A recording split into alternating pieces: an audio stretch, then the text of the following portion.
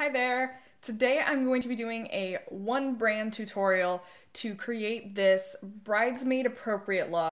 This look was created all with products from Lorac. Lorac is one of my favorite brands of all time. When I first started working at Sephora, I wasn't all that familiar with it, and I was more familiar with people mispronouncing it as Lorac, which made me think of Lorax from Dr. Seuss, all that. But so once I learned more about Lorac, that it is actually Carol spelled backwards because the founder is Carol Shaw. She's a celebrity makeup artist and she created products that she wanted to use on her clients, but were also good for people with sensitive skin. She herself has struggled with that. So I fell in love with her her products, especially her eyeshadows. So I know a lot of people are probably familiar with the Lorac Pro palette. If you could buy one eyeshadow palette, probably buy this one. This is one of the best eyeshadow palettes there is. So I love the eyeshadows and so when Lorac offered to send me some items, one of them was the Dazzling Dozen 2. This is um, a set of 12 shadows that can be purchased at Ulta only, and it's $39. So if you want to see how to get this soft romantic bridesmaid look, just keep watching. So first we are going to prime our face, and I'm going to use Lorac's Porefection. This is a mattifying primer and I actually use this in my bridal kit on clients that tell me that they have oily skin. I have a lot of friends that have oily skin and they really like this. So this is great because it's an oil-free, paraben-free, fragrance-free primer. Okay, next we are going to apply foundation. This is Lorac's Porefection Foundation. And this foundation is a little bit newer. It has an SPF of 20 in it, so that's great. And I have the shade PR2 or light. I do think this is a bit light for me, um, but we are gonna make it work. So I am going to pump about a pump and a half on my hand and then just use this buffing brush to apply it.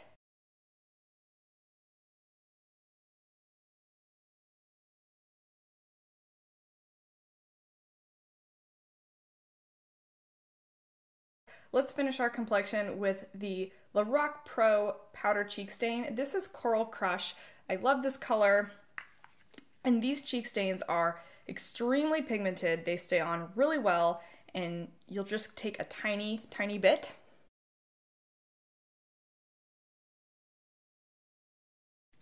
Okay, so we are ready for what I think is the funnest part, which is the eyes. And we are going to use several shadows from Lorac's set that is sold at Ulta called Dazzling Dozen 2. And so what that is, is 12 single shadows and it's $39, but you're getting a ton for $39 considering you're getting 12 full-size shadows. Their Lorac Pro palette retails for 42. That has 16 shadows, but they're a lot smaller. So these are um, 0.05 ounces each. And we're starting out with this color right here. We're starting out this color called Caramel. This is a matte caramel color. it is a perfect transition color to place in your crease, so that's exactly what we're going to do with a crease brush.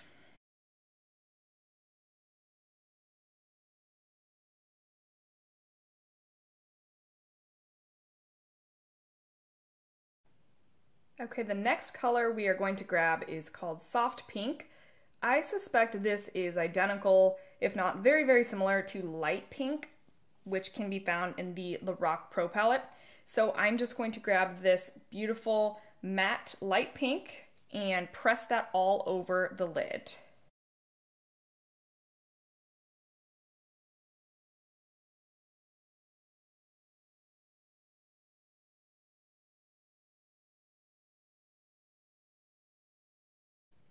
Okay, the next color we are grabbing is another matte shade. So, so far we've been matte shades only.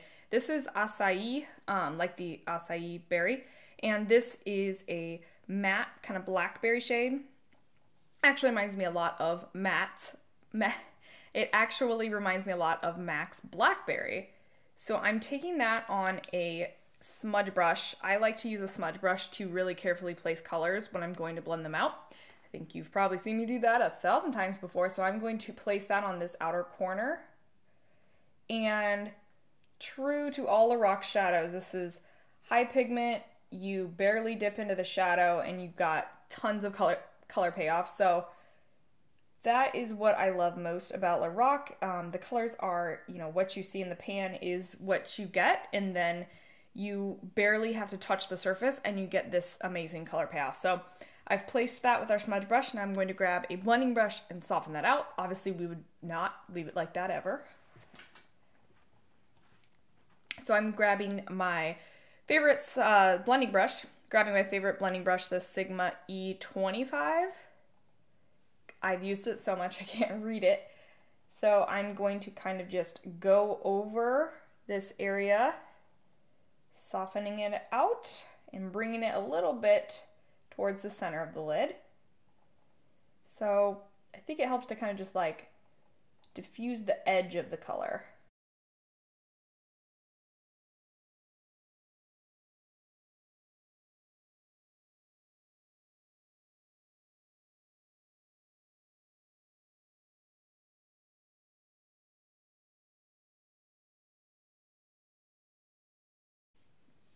So I'm going to take that same acai color on a smaller flat brush and drag that on my lower lash line because we haven't applied any color there yet.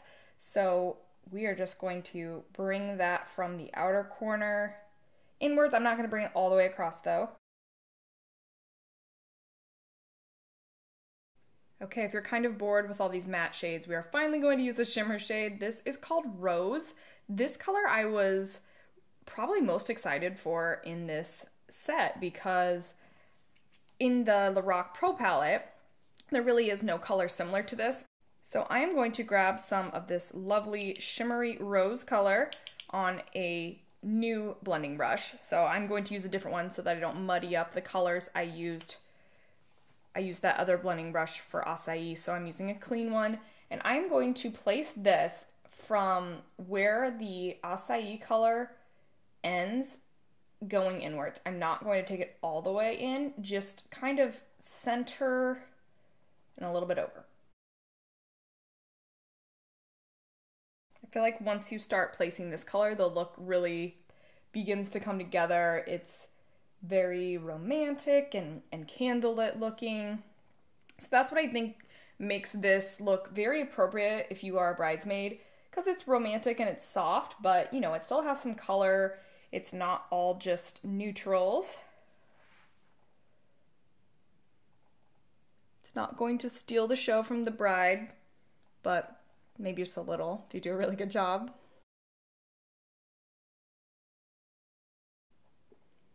Okay, we are grabbing yet another color. But you know what? If you bought the Dazzling Dozen 2, I mean, you already have all these colors, so we are just maxing this kit out. This is called Storm, and while it is kind of a charcoal gray, I think it's got definitely a purple undertone in there. So that's why it's gonna pair really nicely with this. And we are just going to use this on the very, very outer corner. I'm not going to bring it in as much as I did with like that blackberry shade. I'm just going to concentrate it on that very, very outer corner. And then we will finally move on to liner, mascara, and the rest. Okay, so with Storm, like I said, just place it very sparingly on the outer corner only. Then grab your blending brush. You can use the same one that you used to blend out that acai color because these are similarly toned matte shades. And notice I'm just blending the outer corner and I'm not, I'm taking this all the way in the crease. I'm not bringing it all the way over. Just trying to keep it restricted to the outer corner only. And we will clean up this shenanigan. So don't worry if it's kind of a messy shape on the outer corner.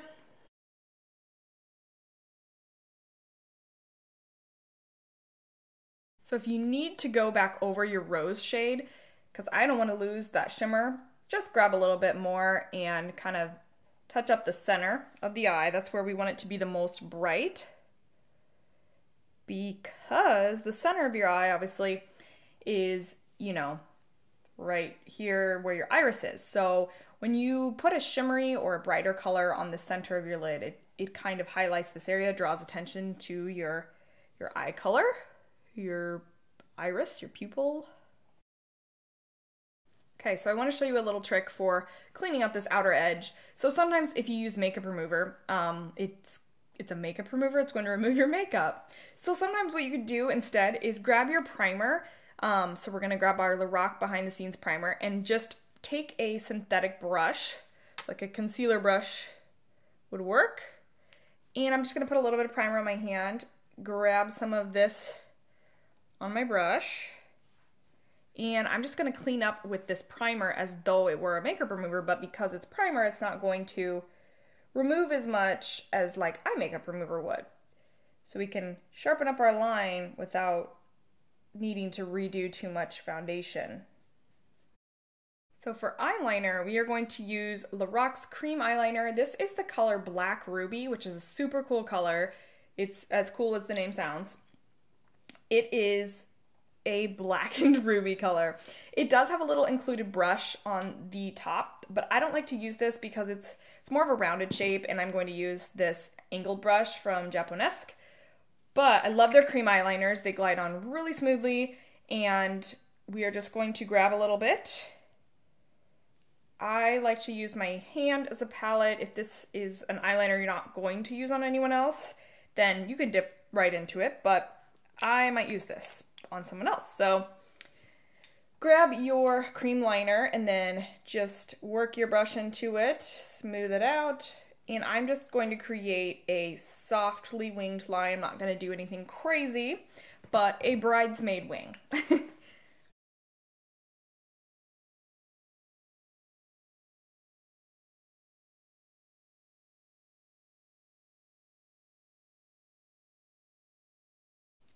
So I'm going to take that primer on a brush again to sharpen this wing.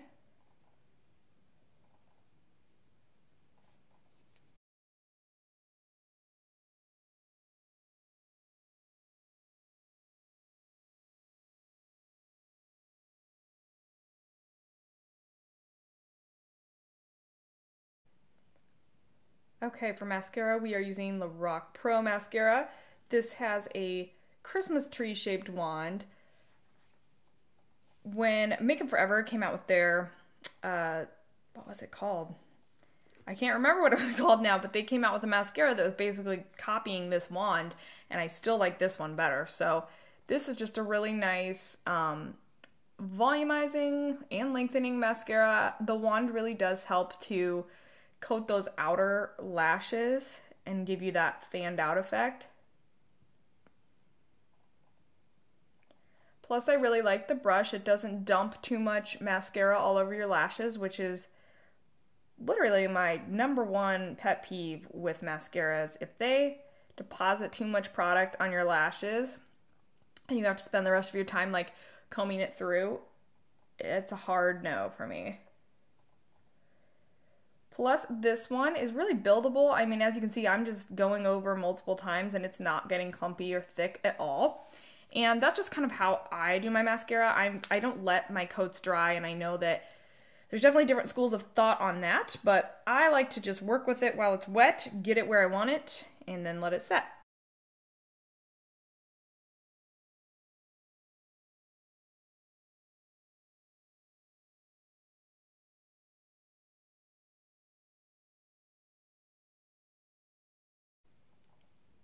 For our lip color, I'm going to use two different Lorac products. So I'm going to use their Alter Ego lipstick in the color Nymph. It is definitely a very, very pale baby pink. And then I will be topping it with their lip gloss in Supermodel. And don't let this color scare you because it definitely scared me. It's very, very pale. But putting the lip gloss over it is going to help a lot. Plus this color is very, very matte. So if you don't like a matte finish, just throw a lip gloss on top. Of course, you could just leave it like this, but it's not the most flattering color on me, so that's why I'm warming it up with this peachier shade here.